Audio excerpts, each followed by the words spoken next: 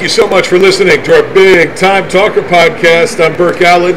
New episodes every Tuesday are uploaded on all your favorite podcast platforms, uh, including iHeartMedia and Apple and Spotify. We're everywhere. If you hear that noise in the background, that's because we're surrounded by thousands of the biggest and best authors and publishers. The entire book industry is here with me this weekend at the American Library Association's annual conference and exhibition in the Place in beautiful Chicago, Illinois. And joining us in the glass enclosed nerve center, our podcast pavilion in the studio, is author Eliot Esparza. His book is called My Mind Is Not Yours. Eliot, thanks for stopping by the studio. Well, thank you for having me. Congratulations on the book. Um, lots of people listening may not have read it yet. It's available in bookstores everywhere, and you can get it online as well. If somebody says, "Hey, you're an author, Eliot. What is this book about?" How do you answer? What's the elevator pitch? Uh, let's see. Uh, well, I'm a little nervous, but I am obsessed with this book. I just can't stop thinking about it. Uh, seriously, whenever I pick it up to reread a section, I just end up rereading the entire book. Uh, See, I love that. I love you like it because lots of authors, by the time they get through their book, I, I know they've that had feeling. enough, right? Exactly. But I think I wrote this thing to fit my specifications to just entrance me. And, and I know uh, this book is for uh, young adults, and Okay. uh, I am, I wrote it so that uh, it keeps the attention span of today's audience. Uh, and I guess using that method, it fit right in at home in my head. Uh, but My Mind Is Not Yours is a supernatural detective urban fantasy thriller. You got a lot happening there. Uh, I recently won the Next Generation Indie Book Awards. I Um, saw that, and by the way, the indie book folks are the ones who made the the, Oh, yes. bro- the broadcast thank 'em enough. possible. And and you, you look the stickers right there on the cover. Congratulations! Thank you. Um, the book is about a young girl named Florian Lily Cobblestone, and she has the ability to see everyone's spirit animal. And we follow her as she searches for her own spirit animal, i.e., her purpose, her confidence, Right. her life's goal. Meanwhile, you have Mayor William Wright Banquet, uh, the conquistador of politics, and the third mayor of Tarot Tori City, the most progressive city in the world. Okay. And uh, Territory, uh, uh, this mayor is getting hunted down by ghosts, supernatural side.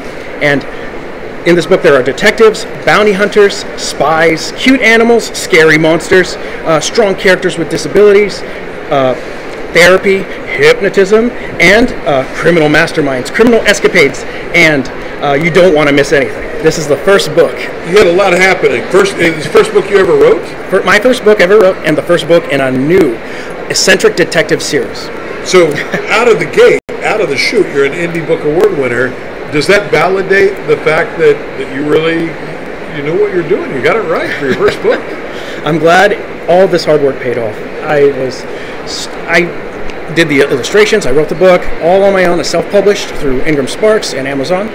And at first, uh, when I first released it this year, it was dead silence. I, I was worried, but as soon as I got the news that I um, placed as a finalist in Right. this award, it, it relieved a whole weight off my shoulders. I was so proud, and I can't thank the Indie Book Awards enough. Where did the, the uh, inspiration for this style of book come from? Uh, let's see. Uh, characters throughout fiction, all Right. throughout fiction, uh, like Sherlock Holmes, Moriarty, Lupin, um, and many different types of movies. I love analyzing thought-provoking stories. I can't get enough of just breaking down why they make my heart race, um, and across all media too. Video games like The Last of Us, Red Dead Redemption 2, TV shows like The Legend of Galactic Heroes, and they all stem back to this thing that I found that I love in real life helping people.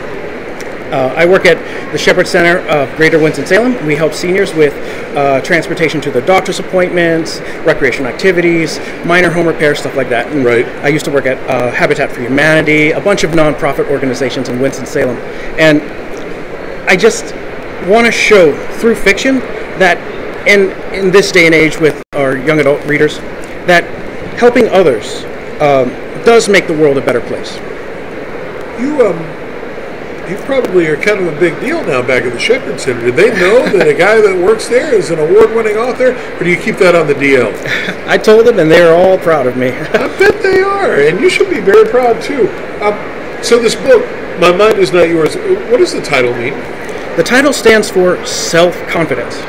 There are so many characters here, and they all can say the words, My mind is not yours. Uh, like how every spirit animal is unique, every character makes a splash on the page, and each citizen of Tarot Tori City is assigned to a tarot card. So try guessing which character is which card uh, as you read. And that's right, it's the city is pronounced Territory City, as in tarot like the card, Right. But it's written as tarot like the card, and Tory as in architectural and infrastructure terms. Pretty interesting. Would, uh, you, you threw a lot of genres of, of uh, books out there, um, but I guess uh, would you boil it all down to an urban fantasy? Is that what you would call it? Yes, uh, there's a lot of different stories happening at the same time, but it all correlates to the same themes. And the main character, Florian Lily Cobblestone, is just growing as along with the reader as she learns her abilities. I think it's interesting that you're a guy and you have a female protagonist. Was it hard for you to write in that female point of view? Um, I do have other male characters. It's a there's you could say it has multiple uh, main characters. Right. Uh, I like getting inside, uh, because you know, with, with apologies to Lily, our intern who's in the studio now, there is some truth to the fact that women are slightly different than men. Well that's true. I won't deny that. but uh, so was it tough to get inside uh, that character and, and make her uniquely feminine? Well, I wouldn't say she's entirely feminine. I would say that she's maybe more asexual. She's more concentrated on finding that purpose in life, Okay. finding herself, and um, exploring this weird situation she's in. And it is a weird situation. I was looking at the cover art, and the, the book looks fantastic. It's hardcover, by the way, and and uh, Eliot did the illustrations in the cover, and, and it really pops out almost like a um, anime. oh yes, heavily inspired by anime. Just amazing. Well, good for you. This is look. This is a big deal that you wrote this book. It's your first book, and out of the chute, it's an award winner. yes. So congratulations on that. Thank you. If there are listeners to the podcast right now, the Big Time Talker, who say to themselves, I'd love to write a book. Yes. I've got an idea for a book. It doesn't matter the genre, but I've got an idea for a book. What would you tell them? Do you have any advice as a first time author who obviously Mm-hmm. did it right and you're an award winner? Let's see. For people that are just starting out, Right. I would recommend get all your ideas on a page. Write, write, write. Don't stop. Later, you can worry about piecing it together, making it flow. And last, you don't want to worry about if it flows or if it's entertaining just yet. Just make sure you have all your ideas, even if you're just throwing them in a hat, get them piled up. So then you have some resources to go back on, uh, notes you can just double check, and just piece them together in the most entertaining possible uh, way possible later. But as long as you have those ideas, that safety net will never let you down. What's your process for writing? Are you uh, one of those guys that waits for the inspiration to hit? Do you sit down at your computer and go, I'm going to sit here until I write 2,000 words, or I'm going to sit here for an hour and I don't care if I write no words, but I'm not getting up? How do you do it? How did you get from nothing except an idea to this finished book that I'm holding in my hand right now? Let's see. I would say I wait for the inspiration to hit, or I go back to watch my favorite movies that really just make my heart race. TV shows that just that pinnacle moment that makes you cry, makes you just makes the adrenaline just starts pumping. That always re-sparks my uh, inspiration and my imagination. And it's just amazing uh, what media we have nowadays and how much is coming from even different countries just pouring in. And with the internet er- era, you have basically an infinite amount of uh, different shows that and different genres you can pick from and just enjoy to your heart's content. You picked a challenging genre. You talk about all the different media options that are out there, and young people, especially young guys, you know, who are, are gamers, may not instinctively go, "Oh, I'd like to spend my Saturday afternoon reading a book. That's what I want to do." Was that ever a thought in your mind when you sat down to write this thing? How am I going to get young people, young adults to read Well, uh, the and cover compete yeah. with movies and, And compete compete with games? You know, Yeah, uh, I made the cover more uh, akin to anime, so that it might uh, draw, Draw people in. people in. Yeah, And I have a website that has merch, that has the anime designs and stuff like that. Oh, smart. What is your website? Oh, uh, Eliot D Esparza. So it's E L I O T. So it's one L, one T.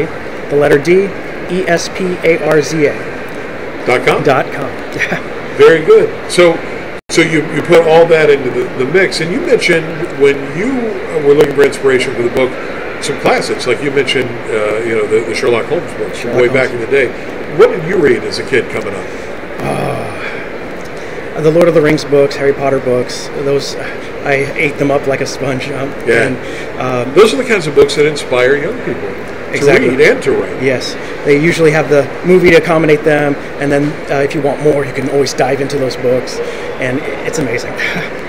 Do you uh, share the opinion that lots of folks do that the book is almost always better than the movie?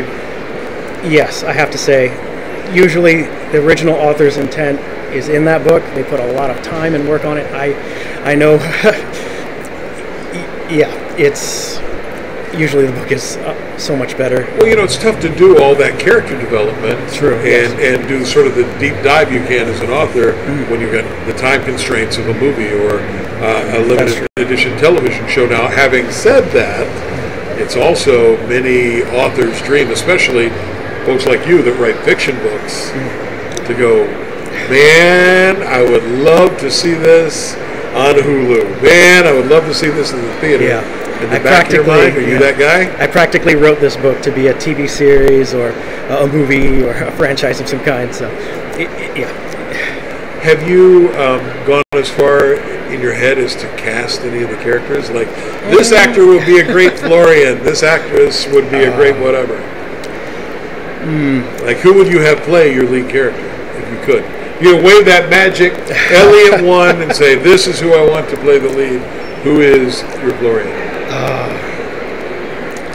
I don't know yet. I'll have to do casting auditions and stuff like that. It, I haven't really thought that far into it, but I'm definitely uh, wi- Open to the idea. open to the idea. And with the spirit animals to accommodate the actors with maybe puppetry or CG, Right. uh, a mixture of the two or something, uh, I'm sure that it would increase the acting chops of these actors, especially if they can have a little bit of say on what they want their spirit animals to do in the certain situations they're in. Um, so I can explain like how these spirit animals work. Um, Yeah.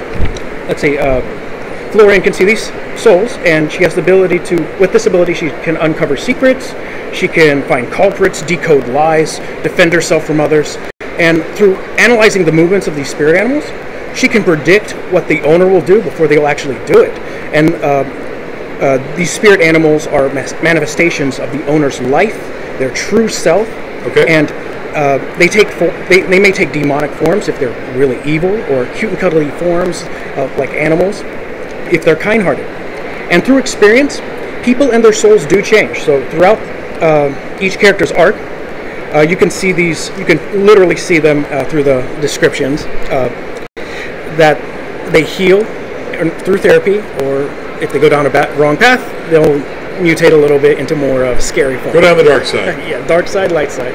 Classic Star Wars. I love it. And this is the first book in the series. Correct. In your mind's eye, do you see this as a trilogy? Do you see it going farther than that? Probably farther than that. Uh, I really want to probably make it the next uh, shooting high here, or the next Agatha Christie series, the next um, Sherlock Holmes series. I have uh, high hopes for this one. J.K. Rowling, watch your back. I know you're probably listening right now. We got a comer here, Eliot Esparza. The book is My Mind Is Not Yours. Welcome to Tarot Tori City. Urban fantasy at its best. The cover art is amazing too.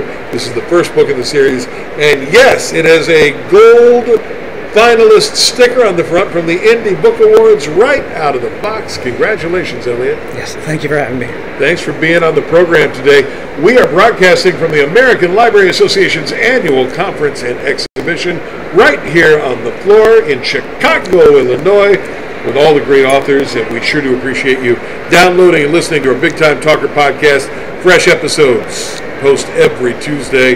Thank you to our show sponsor, SpeakerMatch.com. Thanks to the folks from the Next Generation Indie Book Awards for sponsoring our broadcast pavilion here at ALA. Eliot, I wish you much success. Thank you. Thanks for stopping by. Thank you for listening. Now, go out and make it a great day. Bye, everybody. Bye. Well done. All right.